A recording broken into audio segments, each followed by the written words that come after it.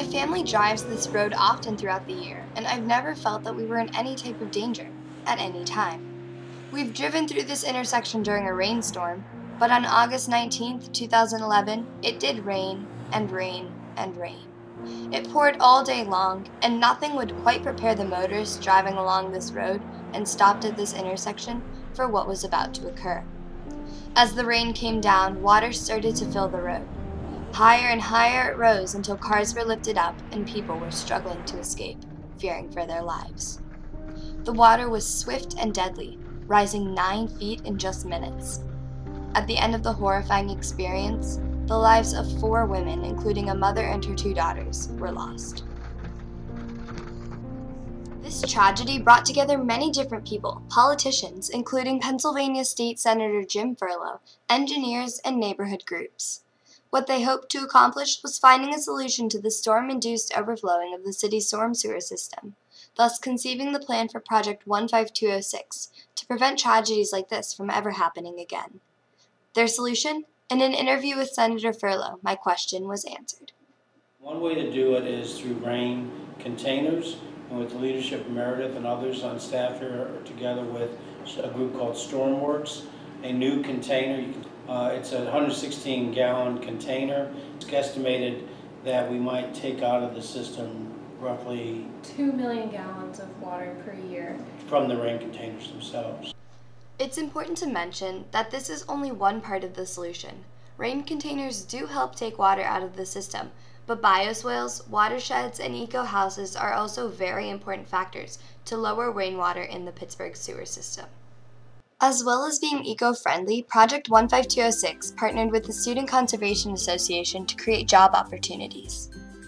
The Student Conservation Association, which is uh, has a, is a national organization that actually has an office in Pittsburgh, had 12 high schoolers as well as four crew leaders, and they'd grow up and uh, go out in groups of four and actually do all the installs. And in that six-week period, we were able to install 175. But let's backtrack a second. Why are rain barrels necessary in the first place? First of all, Pittsburgh has a sewer system called a combined sewer system. This means that human waste, or anything that is flushed down a toilet, goes into the same pipe as the rainwater. So, when Pittsburgh has a major wet weather storm, there is so much water in the system that Alcosan, Allegheny County's sewage treatment plant, can't handle all of the flow. So, the excess sewage goes into our rivers.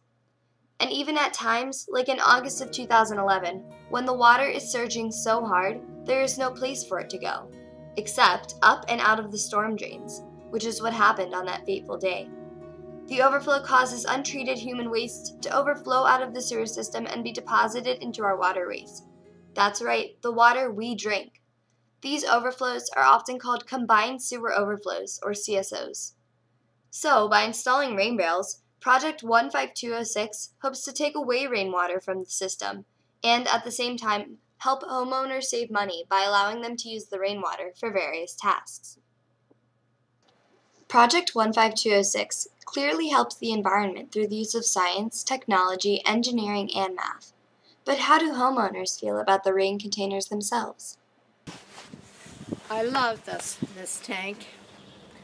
Generally, I use the water to plant every, for everything that needs watered in my backyard. I think I probably save about a hundred uh, dollars a summer, and uh, that's always very nice too.